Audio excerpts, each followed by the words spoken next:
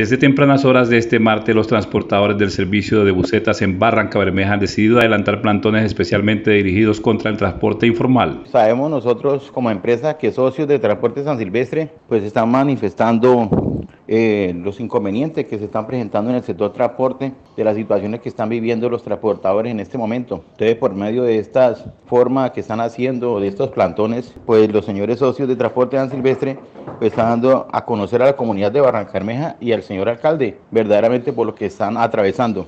pero yo como gerente de transporte en Silvestre le puedo decir que nosotros como empresa no estamos en contra de la administración distrital para nada. Queremos tener con ellos un diálogo fluido y que verdaderamente se tomen las medidas necesarias para que nos ayuden al sector. Reclama este gremio ser atendido según una mesa de trabajo por parte del alcalde Alfonso Hernández Manrique y del director de Tránsito y Transporte Gustavo Angarita. También le pedimos a la comunidad de Barranca Bermeja verdaderamente ayuda en este sector, que nos ayuden porque se requiere la colaboración de los barranqueños para que tomen el transporte legalmente constituido. Entonces nosotros como empresa tenemos unas peticiones para el señor alcalde, pero queremos en, un escenario sin ninguna, ningún problema, sin ninguna amenaza, en ningún estilo. Estamos abiertos para el diálogo con el señor alcalde, sabemos de la disposición de, de él para el diálogo,